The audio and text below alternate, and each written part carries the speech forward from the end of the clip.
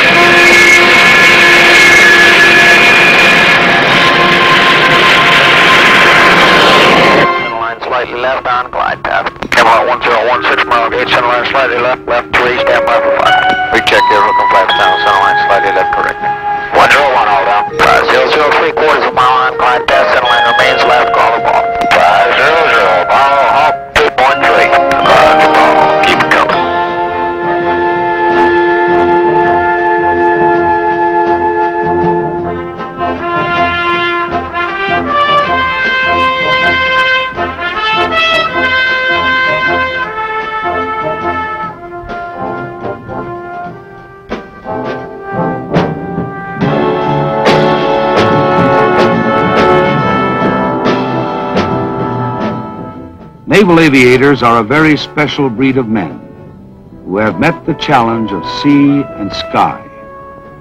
For in all the world, only a few have mastered the sky from the deck of a ship at sea.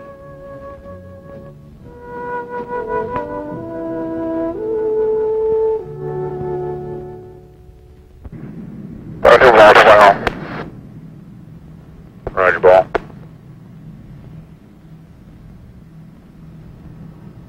Look at your angle of attack.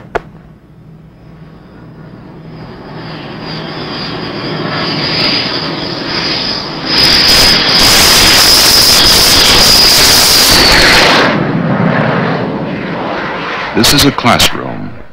The course, Naval Aviation, at Pensacola, Florida. So until you never uh, readjusted your attitude before you took that power off, so you just stayed slow the whole way. Okay. These students are practicing precision landings. Meatball. Easy does it. Easy. Following a beam of light called the meatball, they aim for a 10-foot spot on the runway. One, two, ball, two, one. As the LSO, or landing signal officer, their instructor talks them in on their approach and grades their performance. It is essential that they be proficient at these landings because soon, for the first time, the young pilots will land their planes aboard an aircraft carrier at sea. Watch the ball.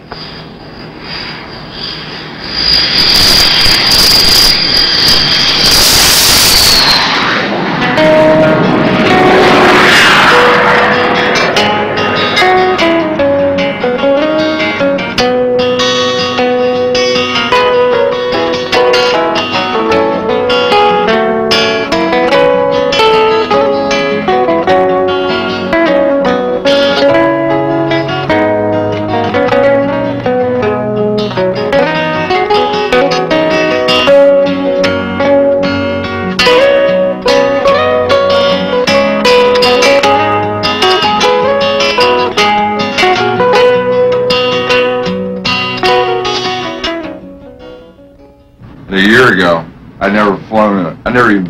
small plane before. Know, except for, you know, the big bus in the sky, that was about it. And, uh, just amazes me when I think, think back on it, you know, that now I'm flying, actually flying a jet. You get up there and you start thinking about what you used to think of as a kid. And there you are doing it, and it's, really not something mystifying at all. I mean, it's something, uh, it's not like driving a car, but it's, It, it, yeah, it takes work. I think uh, when you're on the ground, you feel kind of trapped. You ever felt that way? And, and every time you look around, you see something man has built. When you get upstairs, you're going, hey man, what he's built is real small compared to everything else. And it, and it gets smaller. So uh, I think sometimes too, though, flying is is a job, you know, like any other job. You get up there and uh, there aren't regular hours to it, and like they say, flying is, especially flying a jet, is nine tenths boredom and one tenth stark terror. your mind kind of works like a computer. You plug all these things in. You really amaze yourself, because after a pass, you figure out, well, I was a little wide there, a little long in the groove, and uh, you figure out the corrections you make, and you plug them in. You know, it's like, I don't know anything about computers, but I assume that's what you do, you know. You plug in the, you find out the variables, and what you need to make a good pass, you plug it in, you do it. Your mind works like a computer. It amazes me. And I'm sure most of us feel, or all of us feel completely confident in it. There are a lot of things that we don't know about flying, but we no longer are scared by it, and we can just go out. This has been the first time I felt like I can just go out, hop in a bird, and feel completely comfortable, know what I'm doing every time. it could be something like an athlete trained for a race, couldn't it? He trains for weeks and weeks, maybe even months, all for one race, maybe even one a year at the most. And now tomorrow, that's that's our point. Maybe it'll only be 30 minutes worth of time, but like you said, during that time, you're gonna be. Yeah, I mean, you're just gonna have to, I mean, getting out to the boat isn't something that, there's that point, like you said, where you come around before you pick up the ball, and it's all pretty much just like it's been in training. And then once you pick up the ball, you got it. They didn't always fly jets. Although college graduates, they, like all young men entering the service, were subjected to those first few weeks of becoming accustomed to the military environment. This course is too different and almost An officer indoctrination course prepared the student aviators for basic flight training. It is here they proved they had what it takes motivation, willpower, stamina, and the sincere desire to fly. This was the beginning.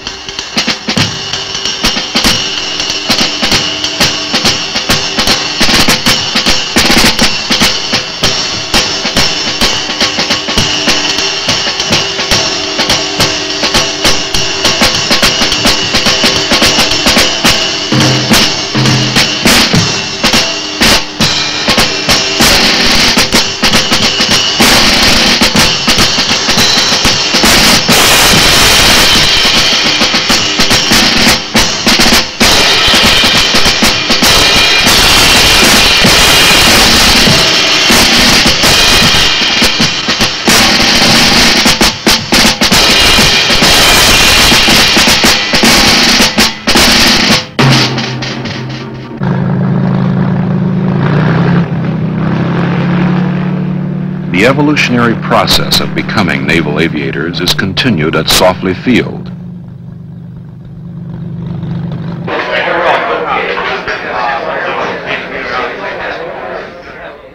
The busyness of the ready room reflected the anticipation of early flights. The countless briefs and debriefs never became routine as each successive flight grew more demanding. Like an athlete before a game, the young pilots spent their pre-flight hours in mental preparation, memorizing procedures and waiting.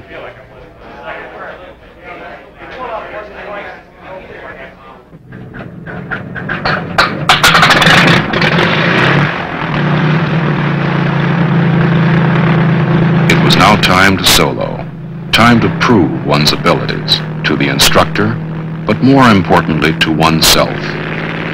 It was during these early flights that the self-confidence was developed, which would prove so valuable throughout the young pilot's career.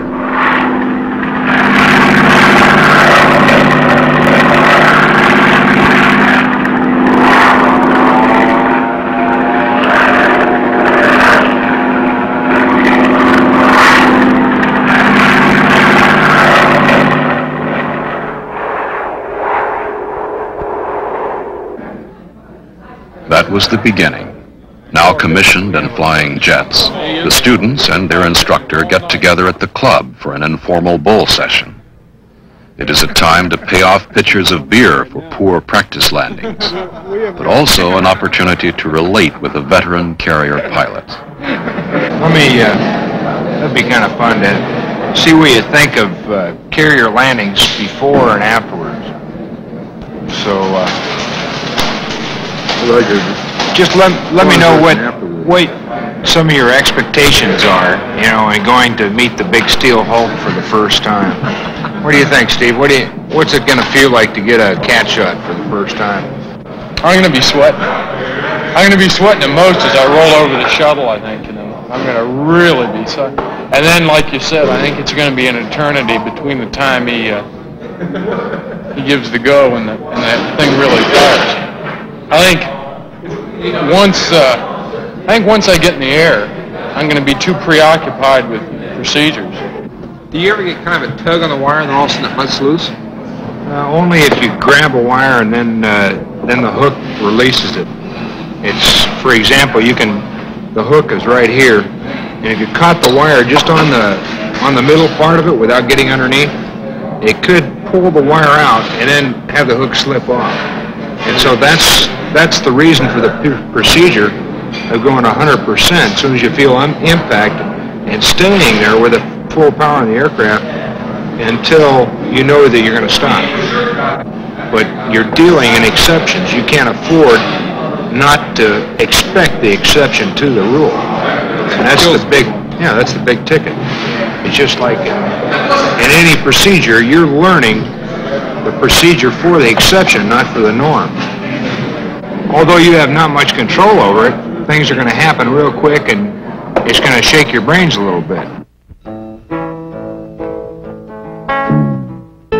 The young pilots set out on their final practice landing session. Their performance now would determine whether they would fly to the carrier the next day.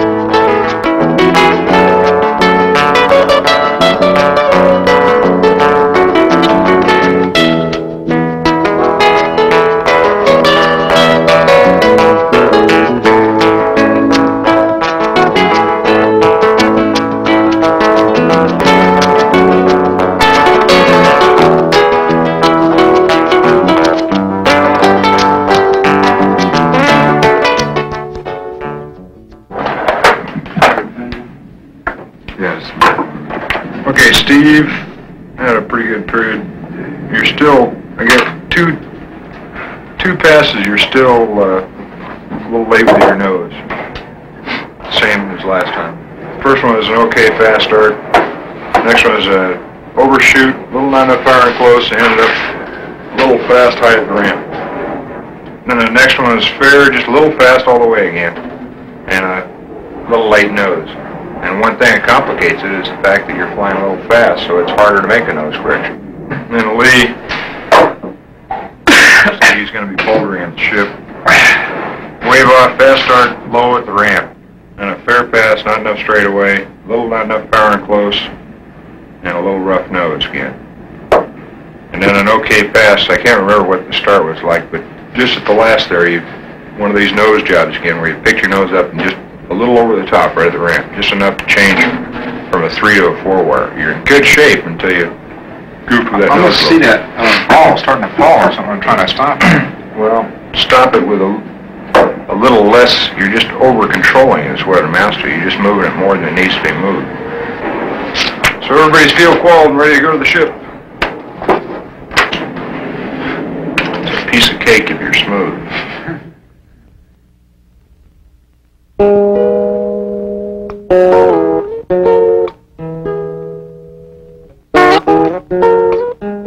The plane stood ready as the sun burned off the early morning fog.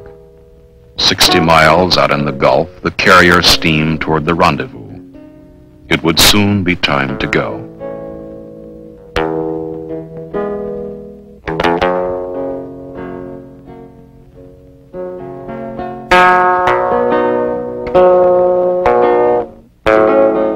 Gents, listen, trying to get 10 out and twice 13. We'll be jumping it down a little bit. 10 out. I wouldn't do it either. No, I plan, I plan to stay real dry on this. Set your watch by the clock. Yeah. But everybody's got a watch. Jim, set your watch by the clock. Yeah, pretty close to it. I was, yeah. Synchronize your watch. Five quarters, Gunbird. We all agree. Right now. Right now, baby. I don't feel it. Right now. Yeah, let's go. Here we go, guys.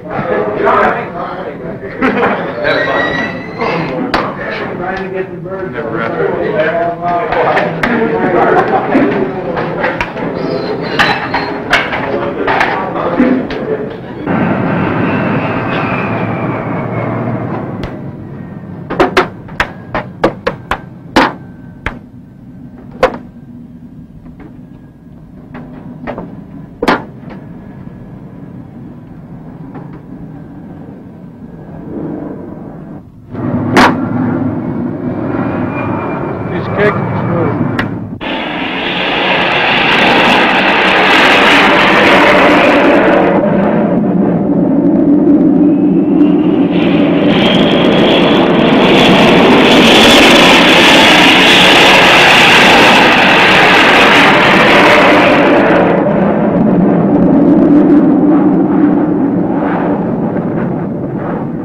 flight to the carrier would be the longest 60 miles the students had ever flown. Although they'd simulated scores of carrier landings before, there was something very different about this flight, something that could not be simulated in any training situation. The runway would now be only 500 feet long, moving through the water at 25 knots and subject to the rolling and pitching motions of the sea. This was the real thing, and it was a flight that had been thought about many times before. this is the tenseness of hitting the boat. The the unknown, the uh, the variables that you haven't encountered before. The apprehension that you have is just sort of a uh, a nebulous sort of a thing that you really don't put any any actions to. It's just a tenseness, an awareness that this is something new and different, something that might not work just like everything else you've done. but no, you don't. You don't think about. There's no fear. You're too busy. Tower, Storehouse, 328 over here, Angels 1 1. Roger, 328.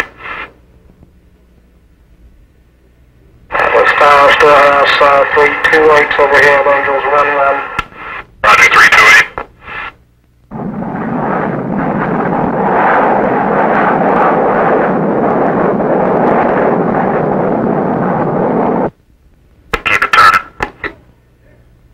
316, gear, full flaps. Body, all 23. Roger, ball. To get the feel of the deck, the first time would be a touch and go landing without the tail hook.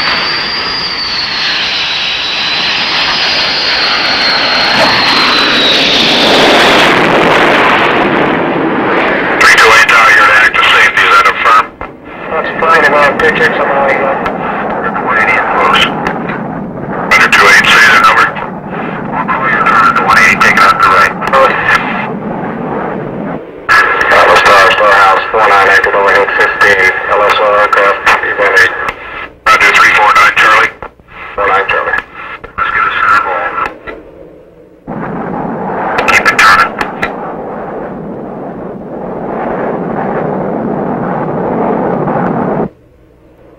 Three six ball, two three. Roger, ball, working your lineup, don't go low.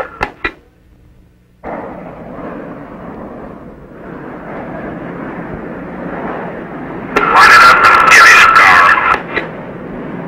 Power.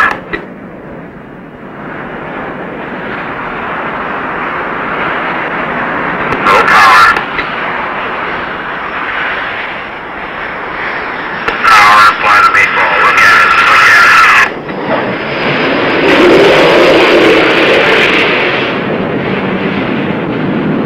Seven five, when the LSO calls for power, you just put it on. Seven five. Hook up, hook up.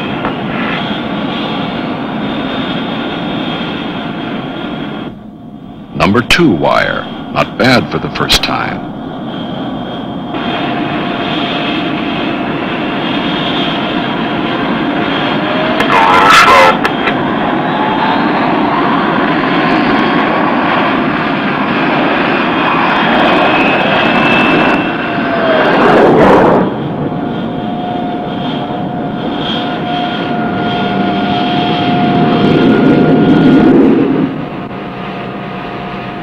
Landing completed, they would now move forward to their first launch from a steam catapult, which would literally throw them back in the air and into a series of landings that would soon become routine.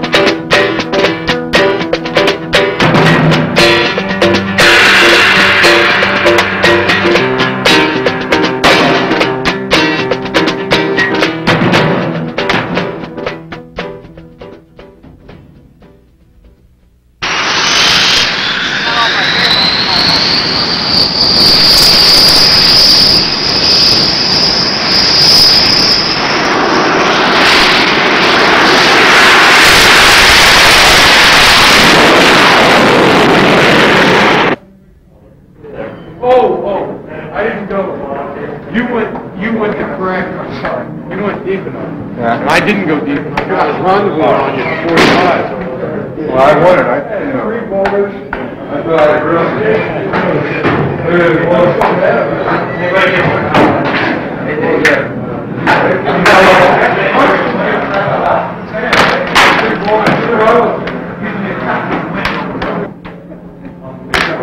right, I guess. I didn't. Uh, I wasn't the ace of the base out there, but it was all right. It was okay. It really was. The hardest landing was one back here. Jerry, uh, you'd pay 50 cents for that ride anytime, any car, and you'd do it again and again and again. I'll tell you, that arrestment's really tough. Hey, reverse it, reverse it for the cat shot. Because you, you've been on arrest, right? Reverse it, man.